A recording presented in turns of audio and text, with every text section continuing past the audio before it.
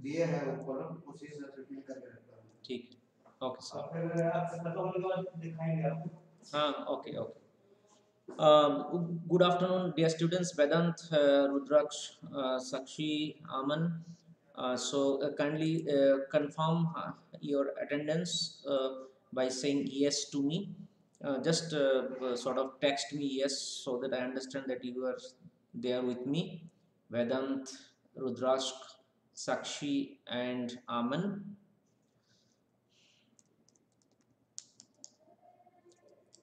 Okay, thank you, thank you, Aman Rudraksh.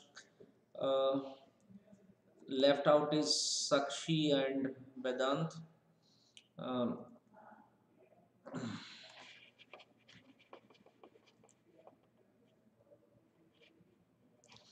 uh, Aman, uh, Sakshi, thank you, thank you, Sanuvar, thank you so much. Okay, so uh, we'll quickly start. Uh, okay, so uh, tell me one thing, dear students. Uh, anyone any one of you can respond me with the text. Um like at this time tomorrow, are you free? At 1:20 tomorrow, are you free? Um, are you free at 1:20 tomorrow? Uh, please uh, text me your response.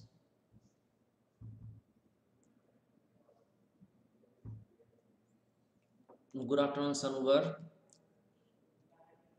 So, dear students, are you free at 1:20 tomorrow?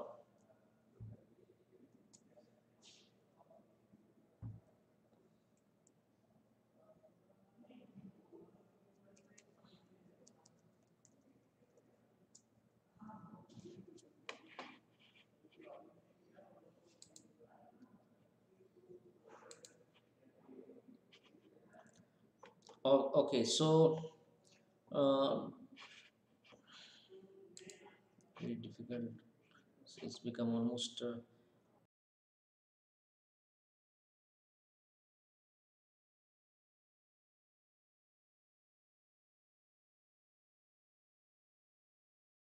stopped in the last class. Uh, okay, okay, Aman. Um, Aman, you, you tell me like um, in my first lecture, were you free? Uh, were you there in uh, when I took my first lecture? Did you listen or did you watch my first video on this lesson?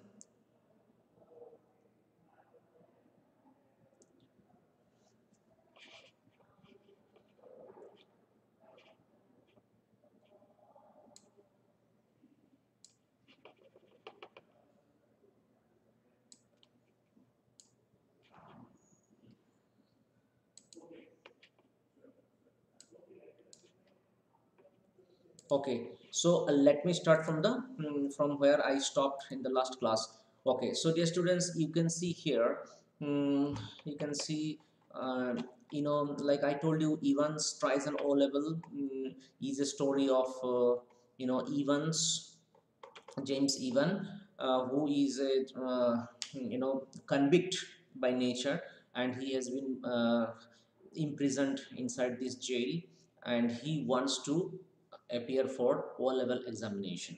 Okay, O level examination.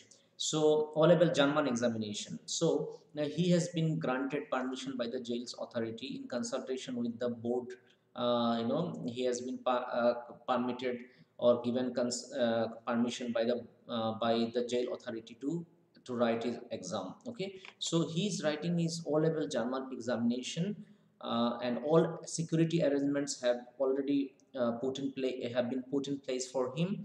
Uh, now let's see uh, what happens whether he uh, writes uh, you know fairly or he does something uh, wrong okay? Uh, see the person who is invigilating in his room in his prison cell the person who is invigilating is supposed to be saint uh, okay? Saint McLeary from a nearby church but we'll, we shall find out whether he's a real McLeary or a duplicate McLeary that we shall find out later on. So a clergyman that is a churchman from the nearby church has been appointed to give uh, to do invigilation for Evans's O level German examination.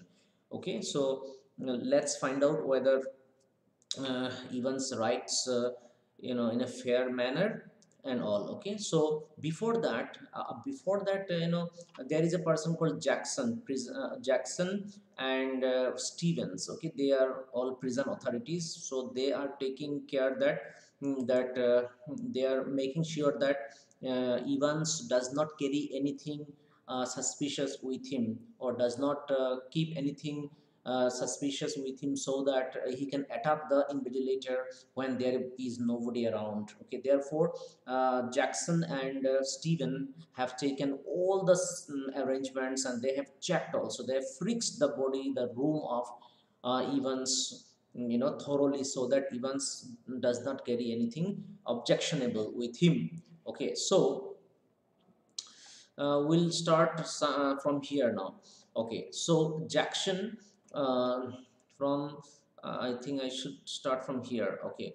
So as you can see here at 8.40 in the morning uh, the reverend stuart McLeary left his bachelor flat in broad street and stepped out briskly towards carfax. So at 8.45 in the morning what happens? Respected stuart McLeary he left his bachelor flat. He left his bachelor flat and he stepped out briskly towards uh, Carfax. And the weatherman reported temperatures considerably below the normal, uh, below the normal for early June, and a long black overcoat and a shallow crowned clerical hat provided welcome protection from the steady drizzle which had set in half an hour. Means here you can see in this paragraph, McLeary's arrival has been described. Okay, how McLeary has come, what kind of things he has uh, you know carried with him like in his right hand he was carrying a small brown suitcase which contained all that he would need for his morning duties. Uh, say sealed question paper is also uh, envelope is also there in which there is an invitation form special authentication card from the exam board a paper knife a bible. Okay all these things are there. The two hour examination was scheduled to start at 9:15 am Evans was lathering his face vigorously when Stevens brought in two small square tables and set them opposite each other in the narrow space between the bunk on the one side and on the other a distempered stone wall. Next, Stevens brought in two hard chairs, the slightly less battered of which he placed in front of the table which stood nearer the cell door. Jackson put in a brief final appearance, behave yourself, laddie. Okay, Jackson says, behave yourself, laddie means a spoken word for boy. Behave yourself. Evans turns and turned and nodded. Uh, and these Jackson pointed to the pinups of pinups means the poster posters you can say okay posters of some um, posters of anybody okay Mm, and Jackson's pointed uh, to the pointing to the pinups said "Y- you just remove these pinups okay? Evans turned and nodded again I was going to take them anyway. A minister isn't he? A minister is coming to invigilate me isn't he? That is what Evans is asking to Jackson. The chap coming to sit in I mean. And how did you know that? Jackson asked quietly. Well I had to sign some forms didn't I? And I could not help. So while signing some forms, I could see my invigilators, uh, who, who the invigilator is going to be. Evans uh, drew the razor carefully down his left cheek and left a neat swath in white uh, ladder. Can I ask you something, Mr. Jackson? Why did they have to bug me in this cell? Okay, so Evans has some query. Evans has some query. uh, Evans has uh, some query, okay, which uh, he's trying to. Hmm, Evans has some query.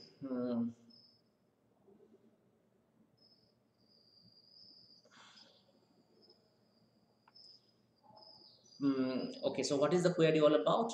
Uh, Evans says that uh, Evans asked uh, Jackson, why did they have to bug me in this cell? It means, uh, why did they have why did they keep one uh, this microphone here in this cell bug means microphone okay microphone in the cell okay. So why did they keep this microphone in the cell? He nodded his head vaguely to a point above the door. Not a very neat job. Okay. Uh, considered jackson. Jackson said that it is not a very uh, not a very uh, you know, s- mm, a clever way of keeping the microphone in front of uh, Evans so because uh, because uh, it should be kept somewhere uh, away from Evans, okay, uh, so that Evans is not aware of the presence of microphone in his cell, okay. Uh, so mm, that is what Jackson says. Not a very neat job. They are not. They don't honestly think I am going to try to, okay. Uh, you know, then Evans become a bit disappointed, saying uh, mm, to Jackson that you know they think that I'm not going to uh, do. I'm going to write the exam fairly. They think that I'm going to do something wrong, but it's not so. This is what Evans says. They are taking no chances. Evans, nobody in his senses would take any chance with you. So uh, Jackson says, nobody on earth would take any chance with you because you are a convict. Uh, who is going to listen in? I will tell you who is going to listen in, lady. It's the governor himself. He's the governor himself who will listen to whether you talk during the examination. That is why microphone has been kept so as to capture your voice and communicate the message to the uh, mm, to the governor who is going to keep a track on you. He do- doesn't trust you a bloody inch, and nor do I. I will be watching you like a hawk. Even so, keep your nose and clean clear. He walked towards the door. Evans nodded. He's already thought of that. And number two, handkerchief was lying ready on the bunk, and neatly folded square of off-white linen. Just one more thing, Einstein. Okay, he is uh, Jackson is referring Evans as Einstein. He says, uh, "What is what? mm, yeah, what that? Uh, good luck, old son." Uh, in the little lodge just inside the prison's main gates, the Reverend Saint McLeary signed his name neatly in the visitor's book and then walked side by side with a silent prison officer across the exercise yard to D wing, where he was greeted by Jackson. Okay, where he was greeted by Jackson. Okay, so the wings heavy outer door was unlocked and locked behind them. The heavy inner door the same, and McLeary was handed into Stephen's keeping. McLeary was handed into uh, when uh, he came. Jackson came. Okay, through the D uh, D wing uh, he came. Mm, so he was greeted by Jackson, and then mm, then the security of the uh, entire arrangement is is spoken about here. You can see it's a tight security, and then you can see here McLeary was handed into Stevens keeping. Okay, so the in uh, was like Steven was uh, appointed as in charge. Okay, uh, he will look after McLeary, and then he says Evans says get the razor. Sorry, mm, Jackson says get the razor. Stevens nodded. Well, keep your eyes skinned clear. Uh, keep your eyes skinned Be very careful. It's a phrase, uh, idiom, which means be very careful. Clear. Stevens nodded again. And McLeary, his feet clanging up the iron stairs, followed his new guide and finally stood before a cell door where Stevens opened the peephole and looked through. Okay, he opened the peephole and looked through.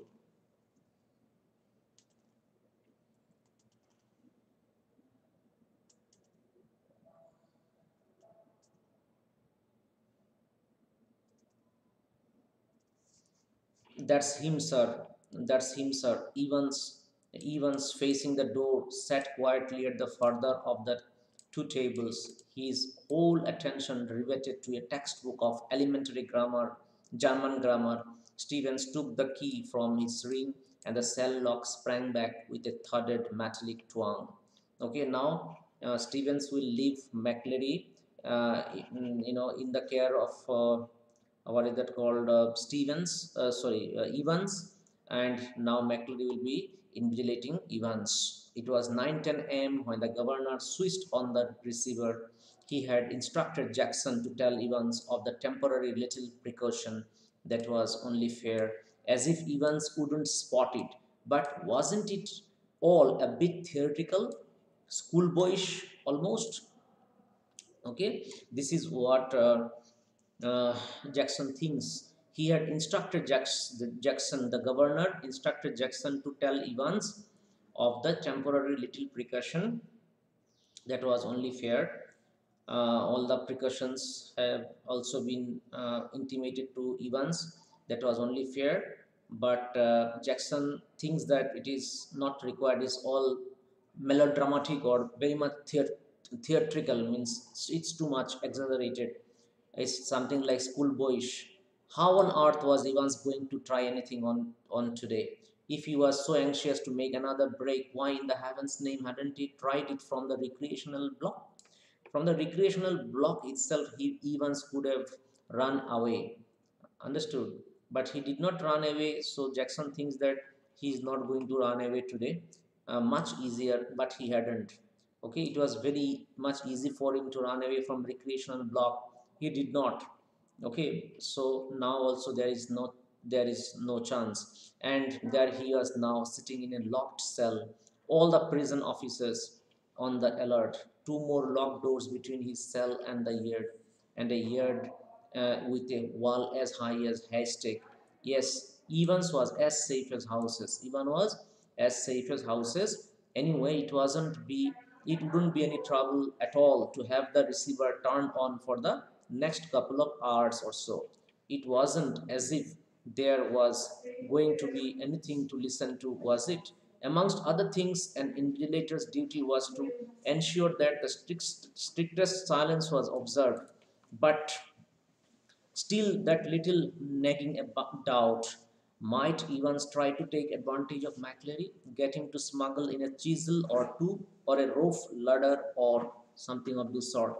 Now, Jackson has a doubt in his mind whether Evans is going to, uh, whether Evans is going to trick uh, the invigilator uh, because invigilator was, uh, uh, invigilator is a clergyman, so uh, Evans might uh, take advantage of this clergyman. So there is some doubt, element of doubt, residual doubt left in the mind of the, mm, you know, mind of the Jackson, mind of Jackson. The governor set up uh, sharply. It was all very well getting rid of any potential weapon that Evans could have used. But what about McLeary? What if, quite unwittingly, the innocent McLeary had brought in something himself? Okay, now Jackson thinks, what about McLeary? McLeary, uh, we need to frisk or check because if innocently McLeary also carries something in his in his suitcase and uh, which uh, Evans can uh, grab or can seize, in that case also Evans can run away. So it's better to frisk McLeary as well.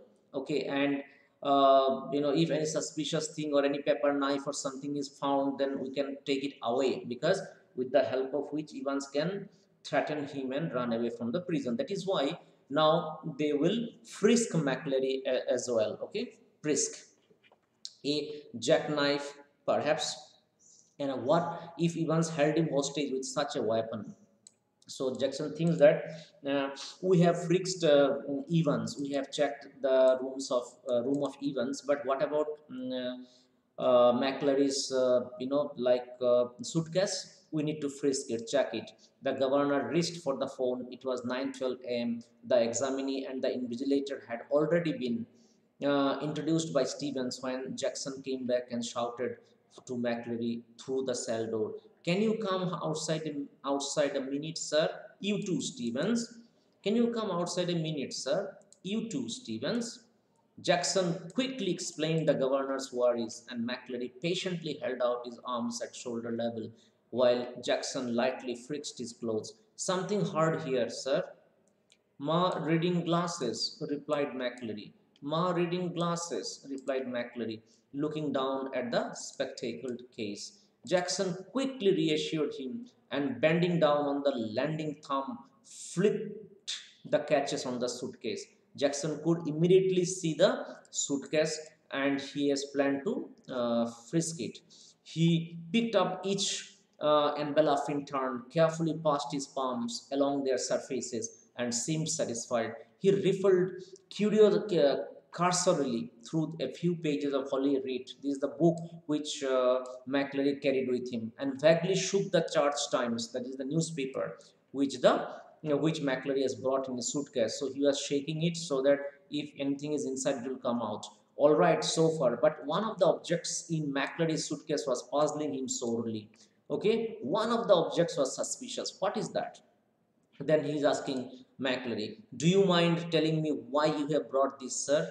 He held up a smallish semi-inflated rubber ring okay? So McLeary has brought a small semi-inflated rubber ring such as a young child with a waist of about 12 inches might have struggled into. You thinking of going for a swim sir? Have you brought it for swimming purpose sir? Uh, hither the amiable demeanor was slightly ruffled by this tasteless tasteless little peasantry okay so this is something interesting dear students. You can see McLeary's hither the amiable demeanor. Okay amiable demeanor means his pleasant appearance. Suddenly changed into a tasteless appearance okay? And he answered jackson somewhat surly if you must know i suffer from hemorrhoids. I suffer from hemorrhoids and when i'm sitting down for any length of time okay um, when i'm sitting down for any length of time so uh, there is a problem with me. Very sorry sir. I did not mean to ever hurt you something like that. The embarrassment was still reddening jackson's cheeks when he found the paper knife at the bottom of the case. And at the bottom of the case there is a paper knife also. I think eh, i would better keep this though if you don't mind that is sir it was 9:18 a.m. before the governor heard their voices again, and it was clear that the examination was going to be more than a little late in getting underway. McLeary, you've got a watch? Evans says, Yes, sir.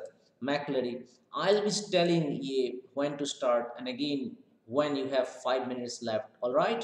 Silence. McLeary, there's plenty more of this writing paper should you need it. Silence. If- If you require, there is plenty of writing paper. Don't worry about this. McLeary says, write the name of the paper 0211 in the top left hand corner. In the top right hand corner, write your index number 313 and in the in the box just below that write your center number 2711 all right silence 920 McLeary, I'm going to. Evans is not going to stay here. He is not going to stay here. Is he? I don't know about that. I. Uh, Mr. Jack Jackson has given me strict in- instructions to to means to take care of you. How am I supposed to concentrate on my exam with something breathing down my neck? Christ, sorry, sir, I didn't mean. The governor reached for the phone. Jackson, Ah, good. Get Stevens out of that cell, will you? I think we are perhaps overdoing things. Now the governor could hear the conversation um, between McLeary and Stevens, uh, Evans. So he heard it through the microphone, which is kept there inside the cell. So the governor is calling Stevens out of the cell. He is saying, "Ki, "You come out, uh, otherwise, uh, you know, mm, Evans cannot write his paper." As you wish, sir. Then Stevens came out. The governor heard the exchanges in the cell, heard the door clang once more, and heard McLeary and announced that examination had begun at last. It was 9:25 a.m. and there was a great calm. At 9:40 a.m., the examination board rang through, and the assistant secretary with special responsibility for modern languages asked to speak to the governor. The examination had already started, no doubt. A quarter of an hour ago, yes. Well, there was a correction slip which some fool had forgotten to place in the examination package. Very brief. Could the governor please announce this? Yes, of course. I'll put you straight through to Mr. Jackson in D wing. Hold the line a minute. Okay, so governor got a call actually hmm, uh, from examination board. Okay, there is a correction slip. Uh, you know, the, there is something wrong in the question paper, so there's a correction slip uh, which uh, was uh, forgotten by people, some people. Okay, to place in the examination package. So can the government governor help to uh, mm, you know pass it on to s- Evans? Yes, of course. I will put you straight through to Mr. Jackson. Governor said, "Hold the line a minute." Was this the sort of thing the governor had feared? Was the phone call a fake? Some signal? Some secret message? This is what governor might have might be thinking, but he could check on that immediately. He dialed the number of the examination board but heard only the uh, staccato bleeps of a line engaged. Okay, so governor wanted to cross check by uh, making a call to the by dialing to the examination board, but examination board number appeared to be busy, line appeared to be engaged. Therefore, he could not verify the fact that the phone call that he received was really from exam department or it's a fake call. He could not verify that because the examination board number was showing engaged. So it was very difficult for him to verify. But without verification, he has passed on the correction slip to Evans. Okay, but then the line was engaged, wasn't it? Yes, not very intelligent that. Two minutes later, he heard some whispered communications in the cell, uh, and then McLeary's broad Scots voice. McLeary's broad Scott Scots voice. So what was the that was what was that? Will you please stop writing a we while Mr. Evans and listen carefully? Candidates offering German 0 to 1 1 should note the following correction. So what did he hear?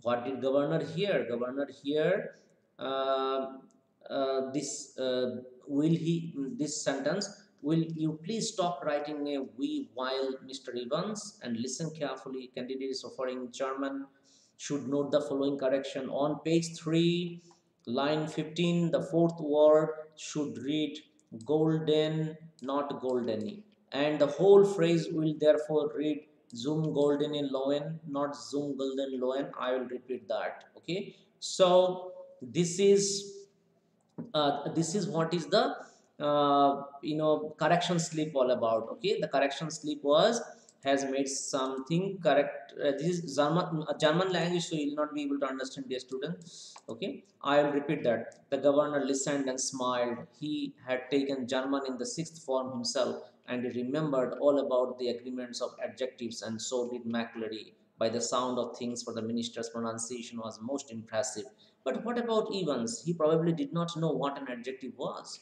The phone rang again in the magistrate's court. They needed a prison van and a couple of prison officers. Remand case. And within two minutes, the governor was wondering whether that could be a hoax. He told himself not to be so silly. His imagination was beginning to run riot.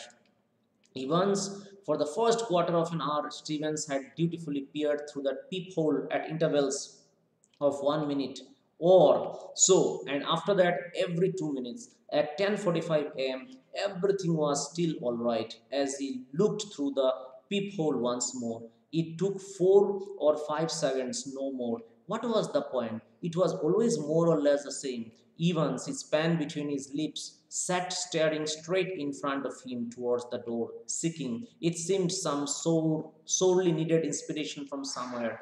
Evans was not writing. He kept his uh, pen, okay, between his lips, okay, and he was not writing anything. He was looking somewhere towards the door. So this is this is what Stevens could, could uh, observe from from outside through the peephole and opposite him McLeary seated slightly askew from the table, his face in semi-profile, his hair, as Stevens had noticed earlier, amateurly clipped pretty closely to the scalp.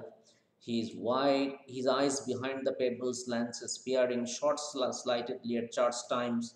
He was reading, uh, he was glancing at Church Times. His right index finger hooked beneath the narrow clerical collar, and the fingers of the left hand the nails meticulously manicured, slowly stroking the short black beard. Okay, so um, uh, McLeary was uh, sitting somewhere. Okay, and uh, he was giving. Uh, then he was emulating, but in a very casual manner. That is what is meant by this by this description. Okay, he was emulating Evans, but in a very casual manner.